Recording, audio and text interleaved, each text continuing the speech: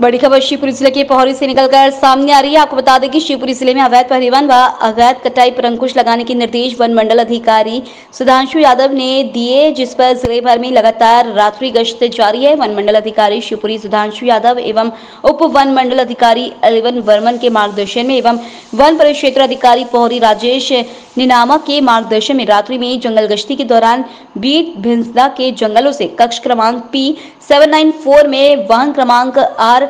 two nine zero eight nine five Eicher गाड़ी खैर की लकड़ी से भरी पकड़ी गई, जिसमें एक सौ नग खैर की लकड़ी, अवैध परिवहन की जब्ती के दौरान जब्त की, जिसकी लागत लगभग चार लाख रुपए के करीब आकी जा रही है, जिसमें मामला पंजीकृत कर जाँच में लिया गया, जिसमें दो आरोपियों को मौके से पकड़ा है। कार्रवाई के दौरान पौरी वन विभाग की team Naval Kishore Sharma, deputy ranger Bhawani Shankar, Sen वनपाल, Hari Jata Dilip Dhakar beat guard Lokhri, Giriraj Sharma beat guard Sarwani, Daulat Ram Verma, रियाज खान, स्थायी कर्मी के साथ समस्त वन अमला मौजूद रहा।